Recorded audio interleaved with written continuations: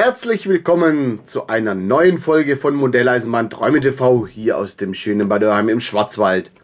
Mittwoch 17.30 Uhr, Fallertime. Ja, ich hatte ja letzte Woche darauf hingewiesen, dass das Gebäude, wo ich da gebaut habe, nochmal ins Spiel kommt. Warum? Das seht ihr jetzt. Wir haben nämlich die 130803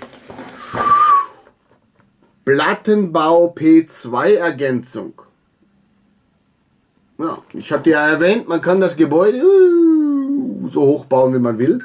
Man braucht eben diese Ergänzungsteile. Ja, dann wollen wir sie mal auspacken. Ja, in diesem Bausatz haben wir 176 Einzelteile in vier Farben. Fensterfolie, zwei Gardinenmasken, und verwenden sie zum Basteln voller Plastikkleber. Und die Maße von diesem Teil sind 30,5 cm auf 13,7 cm auf 6 cm. Ja. Wollen wir mal kurz reinschauen, was hier sich alles verbirgt.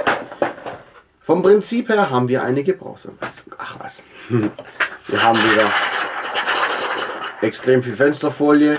Dann diese Gardinenmasken, wie es so schön heißt. Und dann kommen wir schon zum Innenleben.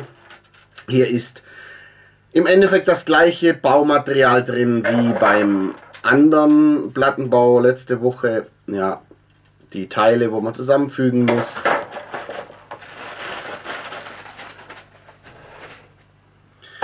Die Fenster, die Balkone. Ja. Und hier noch die einzelnen Elemente für den Bau und wieder ein Sicherheitshinweis. Gut. Dann sortieren wir das mal und dann fangen wir an mit Bauen.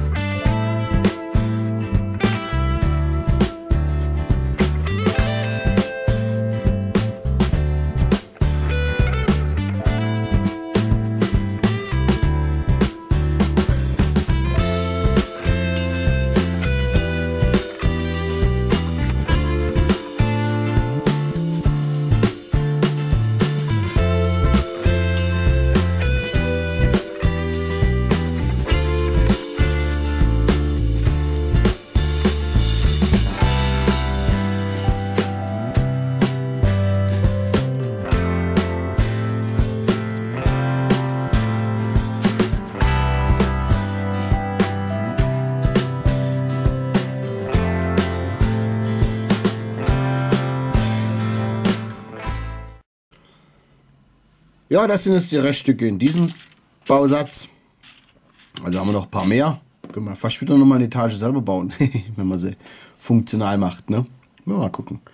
So, das ist jetzt eben der Bausatz des Plattenbau P2 Ergänzung. Also zwei Etagen. Ich habe die Balkone jetzt oben noch nicht festgemacht, ne, weil, wie gesagt, jetzt kommen wir gleich zum Bausatz der letzten Woche. So, da haben wir jetzt das Gebäude von letzter Woche.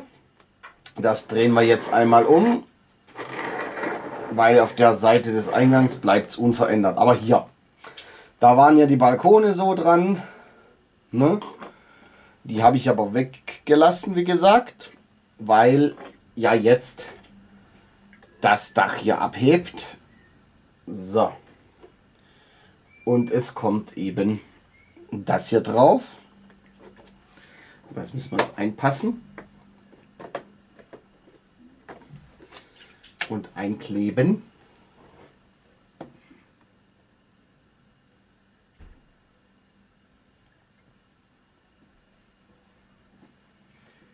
Einmal ringsherum geht der Kleber jetzt.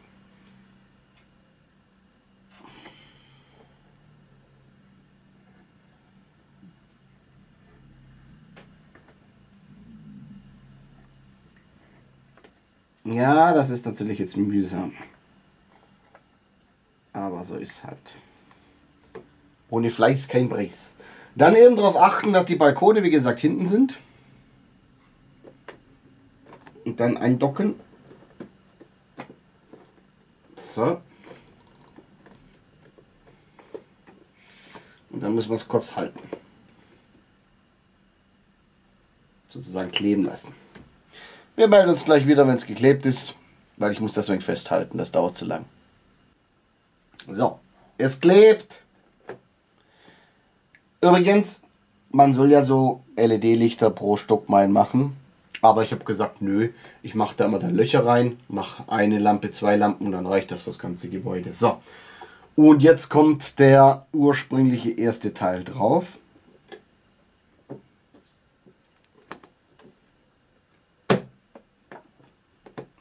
So.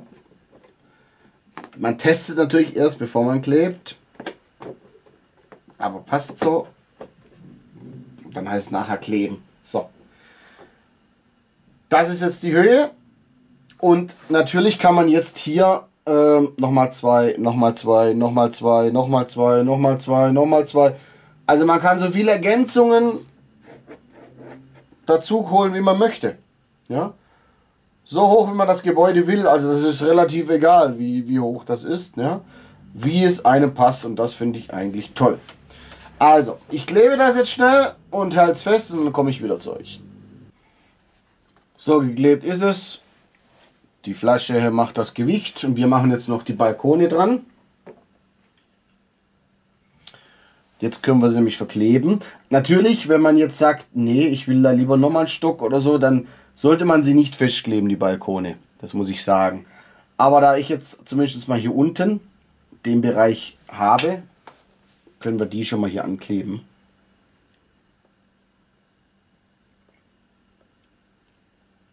Das sind jetzt quasi die Balkone vom Ergänzungsset.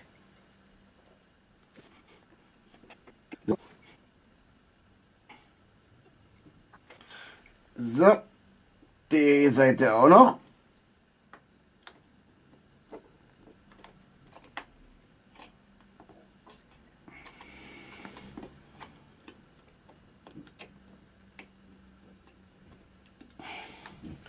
Und wie gesagt, man kann die jetzt einfach so draufstecken.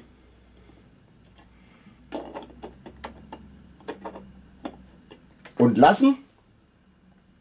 Das heißt, wenn man jetzt sagt, okay, ich möchte nochmal ein Stockwerk hoch, dann kann man die wegmachen, geht zwei Stockwerke höher und hat dann im Endeffekt die Möglichkeit oder noch oder noch. Ja, das müsst ihr entscheiden.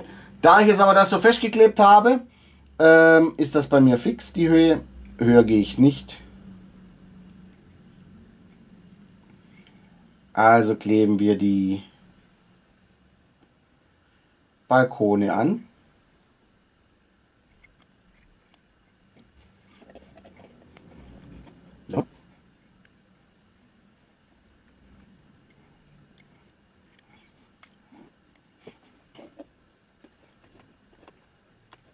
So. Das wär's. Das ist jetzt eben die Basispackung mit einer Ergänzung. Und dann hat man ein fünfstöckiges Haus. Und jetzt ist es genauso hoch, fünfstöckig, wie das Hochhaus letzte Woche. Nein, vorletzte Woche. Der Plattenbau P2-5. Ja, das ist sozusagen auch ein jetzt P2-5. Denn in der DDR hat man gesagt, ähm, P2 ist Plattenbau und die 5 hinten dran heißt 5 Stockwerke. Ja. Und hier sehen wir eben nochmal in ganzer Pracht der riesen Betonbunker.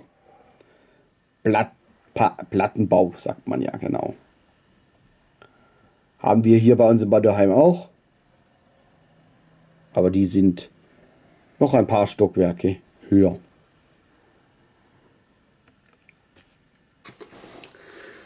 Ja, da sind wir am Ende von diesem Bausatz, von dem Ergänzungsbausatz und wir sind auch am Ende vom anderen Bausatz. Wir haben nämlich jetzt ein Plattenbaugebäude fünfstöckig gebaut. Ja, wie gesagt, es ist einfach zu bauen. Natürlich muss man ein bisschen Zeit investieren, die einzelnen Module hinlegen, die Querstreben reinbauen, die Fenster, die Scheiben. Es ist zeitintensiv, das hatte ich ja das letzte, letzte Woche auch gesagt. Aber es ist toll, dass man die Möglichkeit hat, doch nach den eigenen individuellen Vorstellungen ein Gebäude zu machen. Ja? Und so hat man zum Beispiel auch die Möglichkeit, wie gesagt schon, wie in den USA, riesen Wolkenkratzer daraus zu bauen. Ja? Da kann man natürlich 17, 18, 19, was weiß ich, wie viele Stockwerke hochgehen. Äh, mir reichen hier fünf, habe ich schon erwähnt. Aber wie gesagt, wer möchte, hat da freie Wahl. Ob der eine jetzt drei nur will, drei ist das Minimum, ja, und dann kommen immer zwei dazu. Das heißt also fünf, sieben, ja, neun, elf, 13 und so weiter Etagen. Und Falls einer natürlich diesen Bausatz kauft und riesengroß ergänzt, wäre es schön, wenn er mal ein Bild schickt, ja, oder sich äh, meldet. Ihr könnt ja mal in die Kommentare schreiben, äh, ob ihr den Bausatz toll findet und ob ihr auch mehrere Stockwerke macht. Ja. Würde mich mal interessieren. Ja, ansonsten kann ich nur sagen, nächste Woche Mittwoch 17.30 Uhr kommt das nächste Faller-Video. Ich hoffe, ihr seid dann wieder dabei. Danke für eure Treue. Daumen nach oben von mir. In dem Fall bis zum nächsten Mal. Viele Grüße, euer Markus. Und tschüss.